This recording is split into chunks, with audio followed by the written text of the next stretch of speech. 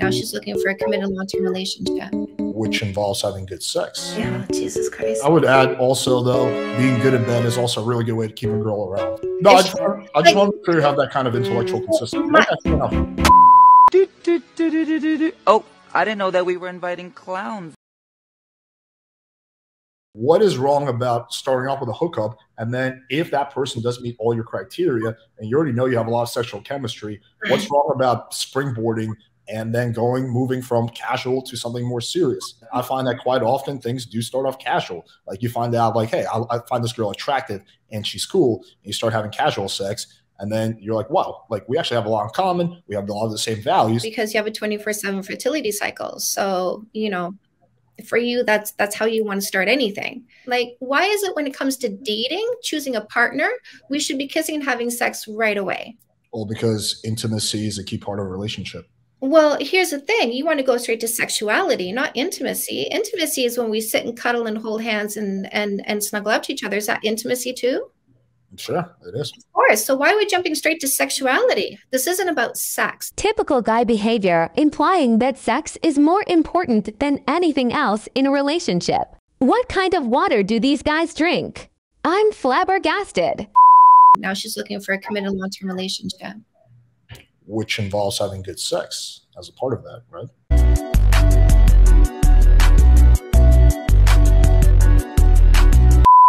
she wants to make sure the character and personality and consistency and responsibility is there because it's deeper than just the physical. Don't go up and say, What's your name? Go up and make her laugh. Sure, I would agree with that. I would add also though, being good in bed is also a really good way to keep a girl around. I'm just thinking with my dick.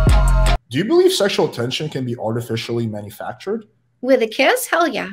Absolutely. Okay, that's that's where you and I would definitely disagree. I don't think that sexual. I think sexual tension. Uh, there's you can you can increase it, but you either have that sexual kind of mm, or you don't. That is not correct. And I'm here debunking that. I don't see how that debunks it though. There's people who come into the picture to take, there are people who come into the picture to contribute. I don't know who's who until I have a boundary. Why should we kiss to find out? Why don't we find out and kiss the right one? Uh, well, I would have several reasons. We can observe that he does not truly understand how women function. This is about committing to somebody who's right for me because I'm not wasting time. So when I want to go play, I'm going to go play. But if I want to husband material, baby dad material, going to buy a house with material, there's characteristics about this person I need to know, right? Like devotion. Should should I find that out before I kiss them? Maybe. Responsibility, work ethic. Is he a mama's boy? Like, is he still living with his mom and she's doing his laundry and cooking his food and he doesn't even clean his room? Should I know this before I start a relationship? Am I starting a relationship when I kiss? If I'm looking for a relationship, I am. And that's evident in my behaviors, in the fact that the next guy who asks me out after I kiss somebody, I say, no, I'm seeing someone. So I'm just not going to commit to someone I don't know. And that commitment is going to start with a kiss. I don't think a wo- I don't think as a woman, if you kiss a guy on the first date, you are lowering your odds of finding a suitable partner. OMG, I had no idea you were a woman. I totally take back what I said earlier. That must be a topic where you and I disagree on. The difference between he's wrong and I kissed him and had sex with him, and he's wrong and I didn't, is one is a conversation, goodbye. One is a breakup, goodbye. Don't you waste just as much time? I mean, you're you're you're waiting three months before kissing. You're still wasting time. Why? I'm talking to people. You're a stranger. No kissing, no sex, no sleepovers, no exclusivity. But you kind of have an idealistic view. Oh, no, you didn't. I'm introducing logic to the dating scene. It's not idealistic. Idealistic is a hope and game. Kiss to see where it goes is idealistic. I'm kissing a stranger and I'm creating a fantasy in my head that they're going to suit who I need in a relationship. That's what idealistic is. Logic is not idealistic. Logic is I want to know who I pick. What if there is no sexual chemistry? Like you waited three months, uh, and there's like this. There's no like your sex is horrible. Oh shit. Here we go again. That's the beauty of the no kissing for three months dating rule is it's not no affection. It's affection is shown when, when affection is felt, not sexuality is shown because it's the fourth date. Do you know women well enough to know that slow dancing in a kitchen before even getting to a six is sexy as fuck. Why why should he, given the information he has, wait for you know wait with a chick when there's other great girls that he can get to know? The boy has no patience. Why would a guy who's like high caliber and quality, uh, you know, if he's given two options, both are great girls. One is a girl who's down to have sex, you know, pretty fast, and one is a girl who wants to wait like three or six months. Why would that high caliber guy go for you know option two instead of option one? Keep your dick in your pants, scumbag. Uh, go go pick your options. I'm not an option. I'm the selection. I don't want somebody who's looking for somebody. I want the person who's looking for me. So if he wants to pick the girl who's going to give it over the girl who's saying, I want to get to know you first, go for it. We don't feel we've lost anything. Um, right? Because what we lost with a person who said, I'm not interested in you, I'm interested in the available body at this time. I think guys, the vast majority of men don't have that luxury uh, because they don't have nearly as many options as a pretty girl would. Hold up. Wait a minute. Something ain't right. I thought guys had so many options, and that's why they would never wait for somebody who's using a no kissing for three months dating rule. While I'm waiting for your fucking response, are you just not going to say anything, dumbass? The no kissing for three months dating rule is creating an a period of observation in order to eliminate the hoping game and give us enough knowledge and insight about you so that we understand who you are before we choose you well, and whether or not we're going to be friends. What about if you like have you never had it where you start off casual and then it leads to something? I never discount luck or intuition. So you guys got lucky. I think we all got lucky. I think relationship is largely luck, right? Because you met a oh. husband who like you and you like him. And this guy calls me idealistic. So luck or knowledge and insight, right? Like I actually picked my partner based on knowledge and insight. You can say that three month is the best strategy, right? But there's still going to be a big element of luck and intuition. I don't think it's like you really reduce reliance on luck or intuition when you go to knowledge and insight. When you're looking for a committed long term partner, I like the knowledge and insight angle. But it's reduced, right? Not eliminated because there's still a risk. There's always a risk of hurt. We can have the most amazing relationship in the world and then you die. There's the hurt. So there's always a risk of hurt in every single relationship. And you are right. This is an opportunity to reduce the risk of pain by making sure I have enough information on somebody before I choose them for a partner. Couldn't you just have sex without committing. Here we go again. I mean, That's called playtime. I'm looking for a partner now. I'm done my playtime. I know a lot of girls who I've had on the podcast, they can have sex without getting their feelings involved. Like when they're looking for a relationship, again, you're not a hookup, you know, here today, gone tomorrow, have fun with you, goodbye. Right? We're not talking about those. She kisses and has sex with you because she's looking for a long term partner. She's looking for a relationship. Just from a kiss, though? Or you're talking about being in a relationship? Are we understanding that the kiss leads to her staying in something that's wrong for her for sometimes too long? So I would disagree with that premise. Honestly, what don't you disagree with at this point? I'm just going to have fun. I'm just going to have fun because yeah. it's, it's a different mindset. Your mindset has to match your intention. Your behaviors have to match your intention. My intention is to get into a committed long term relationship.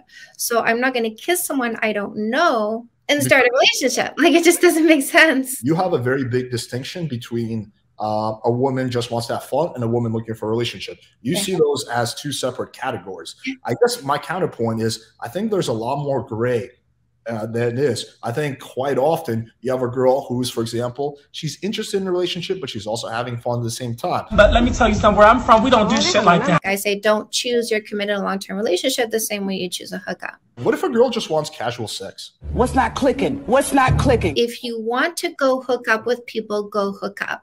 If you want to go explore, go explore. If you want to just have fun, just have fun. Haven't you heard me say it like a bazillion times if you want to hook up, go hook up? There's nothing wrong with that. This honestly felt like teaching the alphabet to a child. How do you reconcile the idea that, like, you know, relationships should be 50 50, but if a man has sexual needs, uh, I guess, like, in that situation, he's being denied those needs. So, what's kind of like your take on that? Uh, so, denied, denied. You really like, like, you were entitled to it. Why? Because you came into my environment and swung your dick around.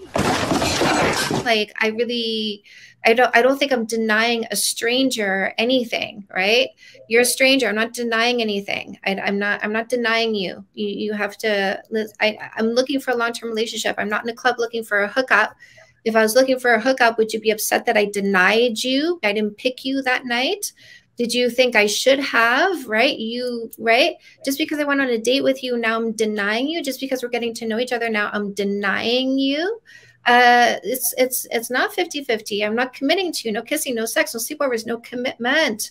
I'm not committing to you. I'm not denying you anything. Why is it that you think my body belongs to you because you're in my presence? It's not that she is hurting the man, she's hurting herself by not engaging in something that would be good for her and that would be fun for her. That's, I think, where the question is coming from. No, she already had the sex she wanted that was good and fun. Now she's looking for a committed long term relationship. The kind of the way you're describing it kind of makes me think that is that you feel sex is a value loaded exchange. Do, do you agree with that? That's have you noticed that all of his questions are about sex and not about the emotional intimacy and qualities behind a healthy relationship? Has he even considered what a woman actually wants? What about when that same guy has a double standard about what you wear? Trigger warning, you will be shocked. If you had a client who was like, you know what, I'm with this girl, like I really like her, um, but you know, like I don't like how she dresses, and and like let's just say to, you say to him, is she dressing any differently than she used to? And he's like, well, no, not really. But, you know, she posted a picture of herself, you know, on the beach and she posted a picture of herself on Girls Night Out. And, you know, like people are seeing that and that's on display. And I don't, you know, I mean, the other night she went to go out and she's wearing a mini dress. And I was like, are you going to go out in that? Right. So what do you say to him when he's showing these signs of insecurity over how she presents herself? This is her. This is who she is. She likes to dress this way. She's going into an insecurity phase saying, I don't want other people looking at her when she looks like that. What do you say to him? You can't just make like you can't can't just be about the guy being paranoid because there could be a legitimate. I got to stop you there because like you want to keep swinging it around, and I'm like, let's say you're dealing with a male right like i want to i want to stop focusing on her because this is this is just she was wearing that before she's wearing it now but now he's got a problem with it he liked it when she wore that to go out with him to the club he doesn't like it when she goes out with the girls to the club wearing the same thing right? He liked it when she was on the beach on, in a bikini with him. He doesn't like it when she posts a picture of herself in a bikini on the beach. So let's not she's not looking for attention. This is her. This is who he got with. She hasn't changed. But now he's saying, I don't like this.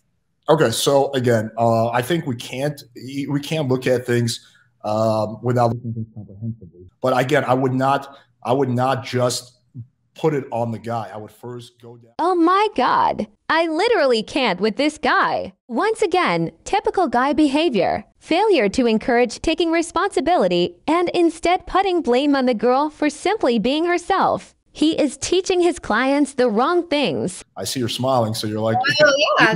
like, I am painting one particular scenario for you, and right. you keep wanting to put the blame on the girl for being who she is and how she is and not changing. Now watch him go for my husband. He gave me devotion before I ever asked him for devotion. He he could have afforded to take more than one girl for a dance. And there was times where he came in and I was dancing for someone else and he waited for me. And other girls came up and said, "Do you want to go for a dance?" And he said, "No, I'm waiting for this girl." I would say that's not devotion, that's neediness though. If he's because he doesn't know you, he doesn't really know who you are. All he knows is what you look like, you know, naked or half naked. Oh, so Wednesday nights for uh, let's say two and a half hours uh, Wednesday nights for two and a half years don't know each other? I would say the problem is a lot more on his end. The fact that he's investing so much energy and so much of his time, which is also valuable, into a woman who's married, right? Who won't go on a date with him. That to me is like very needy and problematic on his part. It's not so much problematic on your part. Okay. Okay. Um, that's all fair, but I, th- I think that's a fair goal. Uh, but right, but I mean, right, but would, I'm understanding your logic. But so then, sure, but how? I mean, sure, but again, but don't sure, but why? I think that's all fair, of course. But but sure, but I right, but so I'm just fed the fuck up. I can't take another minute of this bullshit.